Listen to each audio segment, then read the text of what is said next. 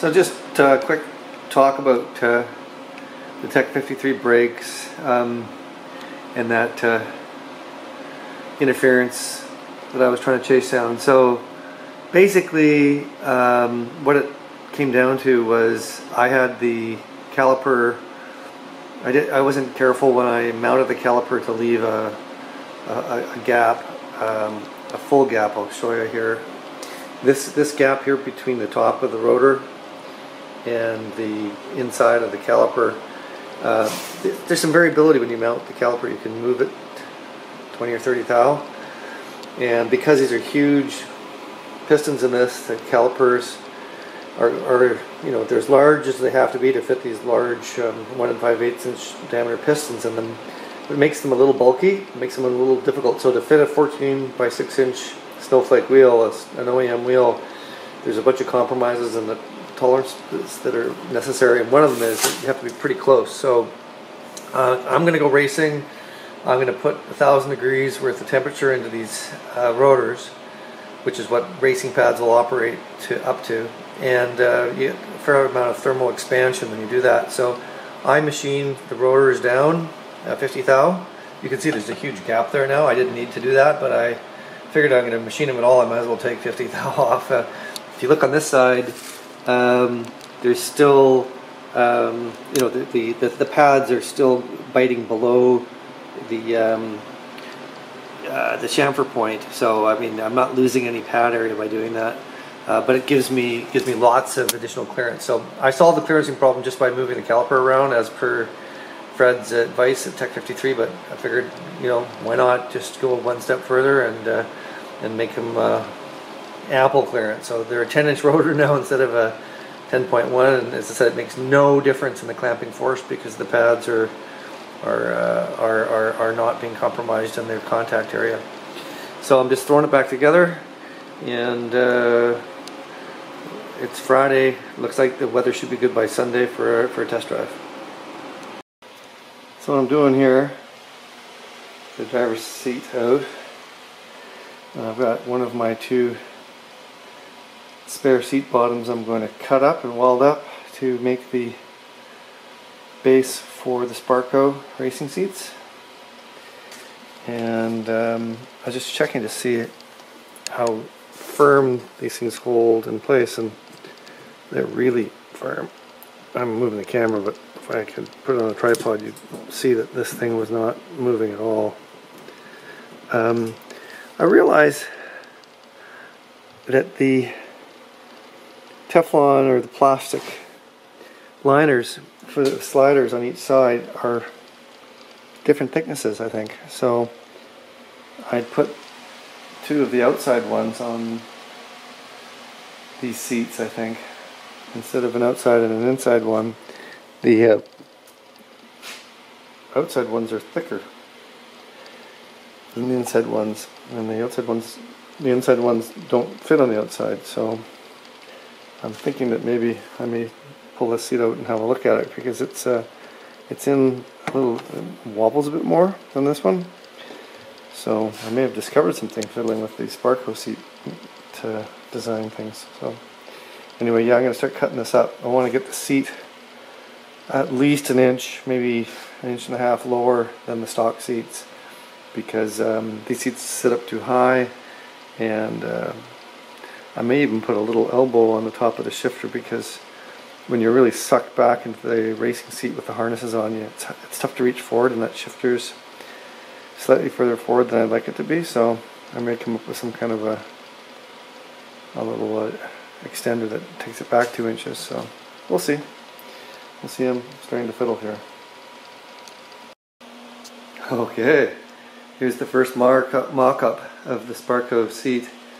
And um, yeah, you can, let me just come around to the side. I've got sitting on some blocks of wood. I'm just doing some quick test fitting. I was sitting in the car having a, a feel.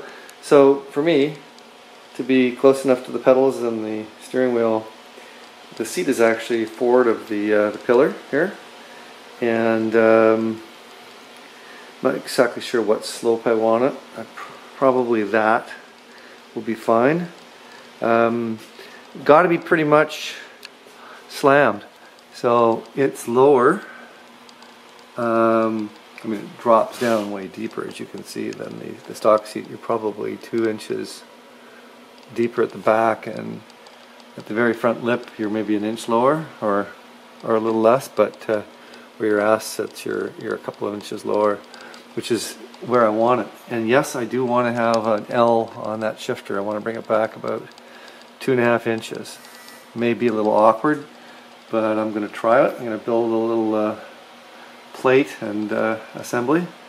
Um, yeah, this thing basically has to be slammed, so it's uh, it's going to be. I don't know if you can see there, but the the rail on the far side is touching the carpet, so I'm going to have to build this thing so that it's uh, right at uh, carpet level on that one side, and then it'll have to be lifted up on this side because it drops down. I don't have it quite quite level, but uh, you get the idea. Uh, so yeah, the beginning of fabricating. What's nice about having it forward like this is that I'll be able to put the bars. Uh, well, we'll see. I don't have the, the, crossbar for this, the uh, the shoulder belts. I don't want the crossbar to be too far behind. We'll uh, have to work that because to get in and out, I gotta slide the seat back to be able to get out of the car because it's just uh, insanely uh, tough to get your ass out of those deep bucket seats. So, uh, especially with the steering wheel there, you gotta kind of pull yourself out of it. Well, I've got the front end back together, got new uh, control arm, um, ball joint uh, hardware installed and torqued to the 18 foot-pound spec. And uh, yeah, it's, it's, all together now and um, just going for a little drive. And uh, I'm pretty happy with how uh, how it's feeling just the first few minutes of driving and it's not quite warmed up yet but uh, it's beautiful weather here I thought I'd have to wait till Monday but it's Saturday and it's sunny and uh, yeah the brakes are starting to break in a little bit starting to feel a little bit better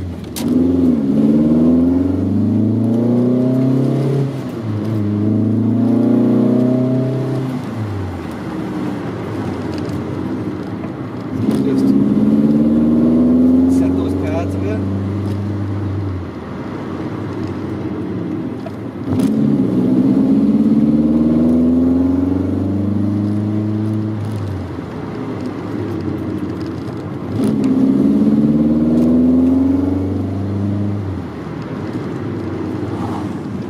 Yeah, so I like how they feel.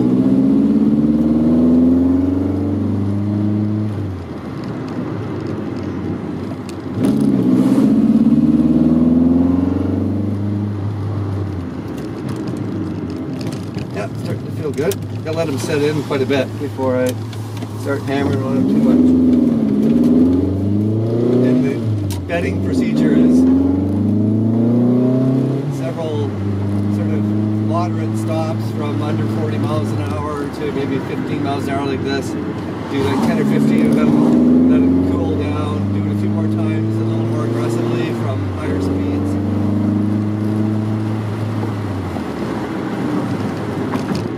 So they're starting to get set in. And I like, how, they feel. I'm getting the right amount of sort of pedal travel that I need for my uh, heel and toeing, I think. Um, although I'm completely rusty and out of uh, shape on all that. The buses pull out like this because they don't want to run too close to the parked cars. They got a new rule in Vancouver where uh, they're allowed to take two lanes, and uh, I used to bitch like crazy about it and say, stupid idea. But uh, supposedly they, they take people's doors off occasionally and uh, they want the space.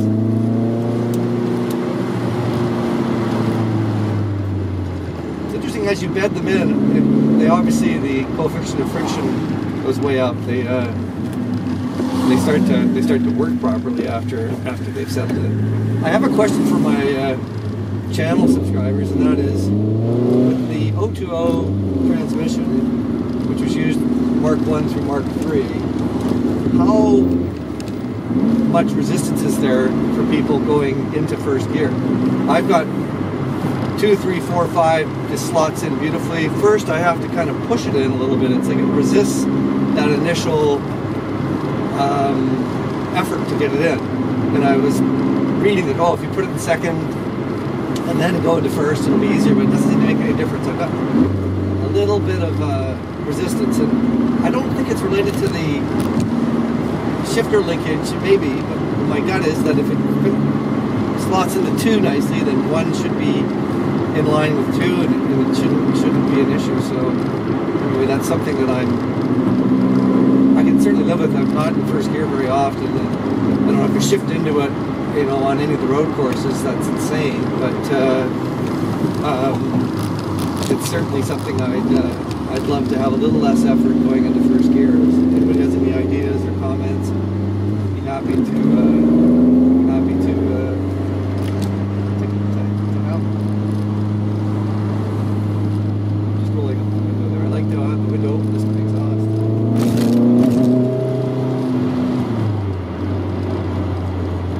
Too many fucking cars. I want to use the brakes. Anyway. Uh, there's a road up ahead that I can go to that's pretty quiet that uh, I can do some brake testing. Anyway, I'll kill the uh, video for now and then I'll connect it back up in a little bit. Yeah, so this is a road that I can do some more stops without people bugging the shit out of me.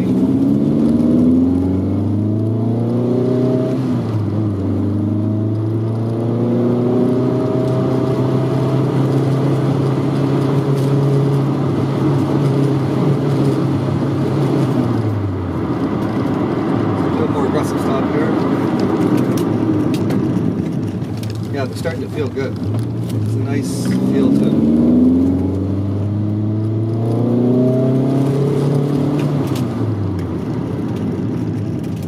Oh yeah. Getting me horny.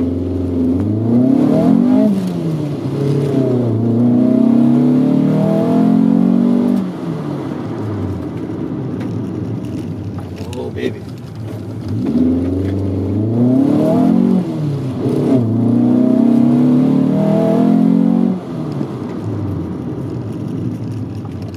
Yeah, we're starting to bit him. Gotta let him cool for a bit.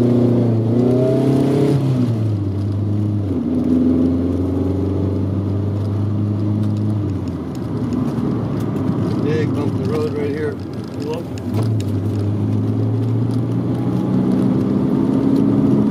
Oh, I love the way this engine has got low RPM manners. You can sit there at 1800 RPM and pull away. It doesn't hesitate. I don't get pinging.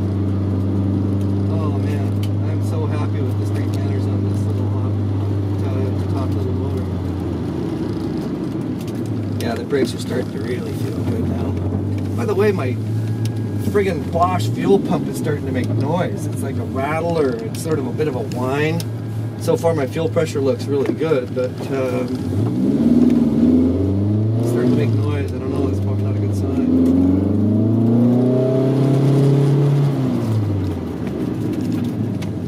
Oh man, those brakes feel good.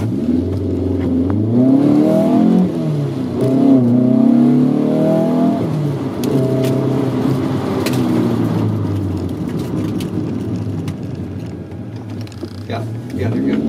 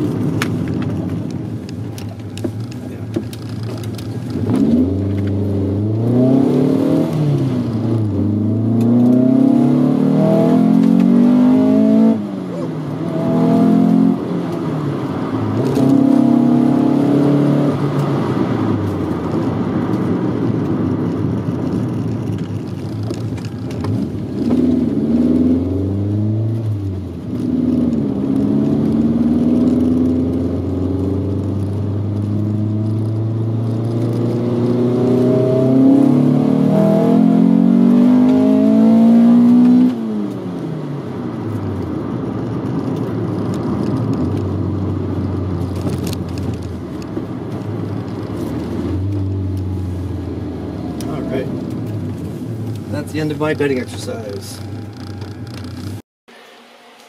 So yeah, I li listen to my fuel pump here. I'll just turn it on. You can put the camera outside so you can hear it. Ready, set, go.